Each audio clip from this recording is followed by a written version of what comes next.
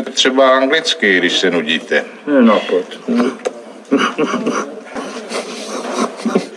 Ty, Venco, jak se řekne anglicky cox? The Coat. The cox